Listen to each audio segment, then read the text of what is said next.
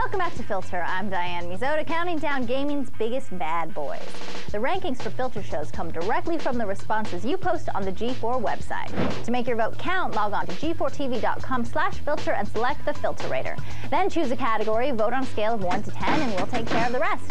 While you're there, be sure to post your suggestions for topics and games you'd like to see covered in future episodes. Getting back to the countdown, we check in with an atypical bad boy by the name of Knuckles. Knuckles is an echidna, which for all of you who don't have a PhD in zoology, is a hedgehog indigenous to Australia and one of the first mascots to ever garner a bad boy reputation. The hard-edged, feisty little jerk locks down the seventh spot.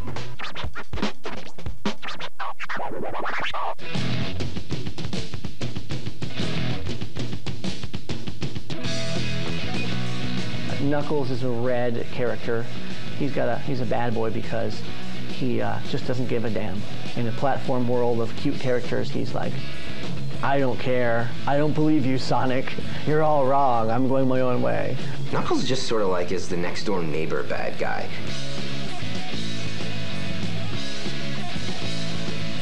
He fits the profile of, you know, somebody that's doing something good, but defying, you know, the, the good character, the hero in the game. He's just trying to make Sonic's life a whole lot harder, but at the same time, you're also helping Sonic out.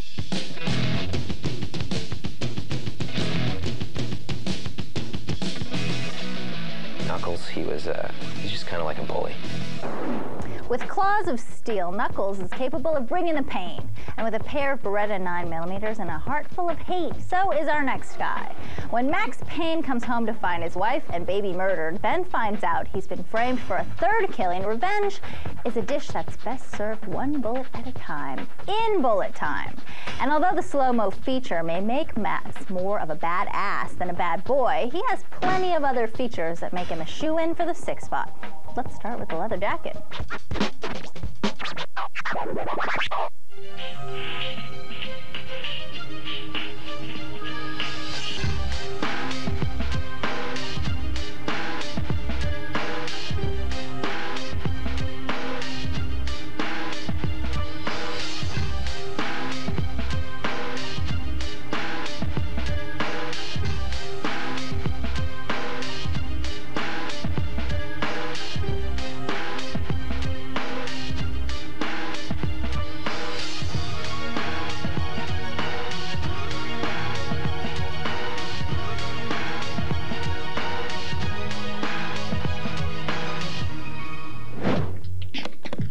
Can any of you guys touch Max when it comes to bad boy behavior? We asked a few people what they'd gotten away with, and here's what they had to say.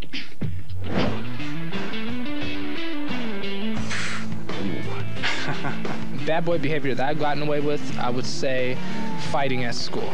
Uh, I'd say kicking guys' asses and getting paid for it. Bad boy behavior. Uh, nothing I could talk about on TV, but um, I was I was a little pyromaniac when I was little. Outrunning a cop. I've done it a couple times.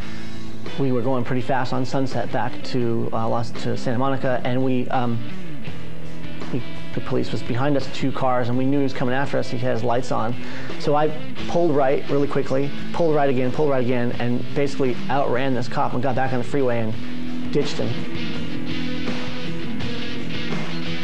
A bad boy behavior that I've gotten away with is uh, skipping class and uh, just kind of doing my thing with my band or something. Just go playing a gig instead of going to class and still getting the notes and acing the tests.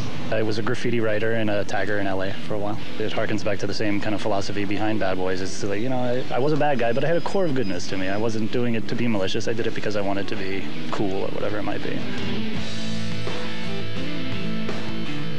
I personally haven't gotten away with much bad boy behavior. I haven't killed a lot of people yet. Um, I do get a lot of girls. I'll admit that. That's I'm happy with that. But um, I haven't killed anybody yet. And I think once I get to that point when I'm ready to start killing people, I'll have finally achieved that bad boy status.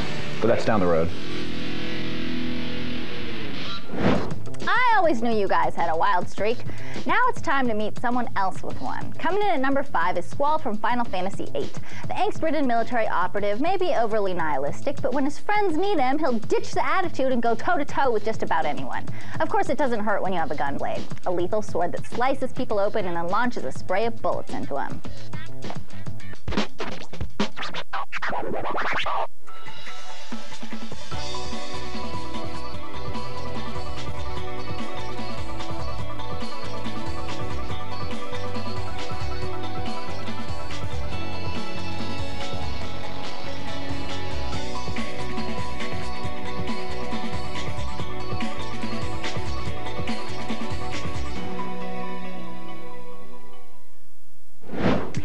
Kind of work that he's in, I'm sure the guy at number four wouldn't mind having a gun blade of his own.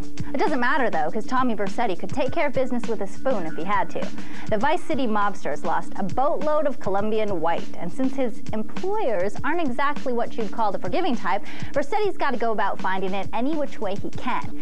Say hello to a guy who knows how to get some serious mileage out of a chainsaw.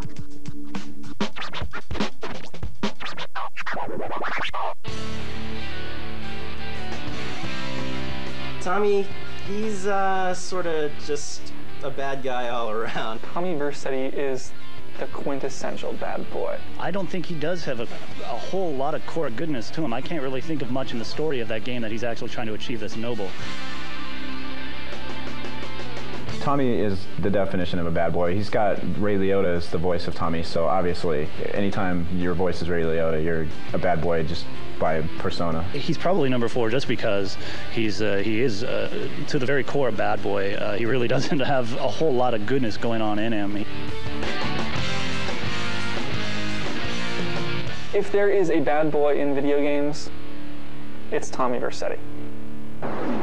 With his renegade approach, Vercetti was a sure fit for the countdown. But coming up after the break, we'll take a look at a few guys that barely missed the cut. Plus, we'll keep counting them down till we make our way to number one. Can a hellbound PI take the trophy, or will a sneaky bastard steal it out from under him? Find out when Filter returns.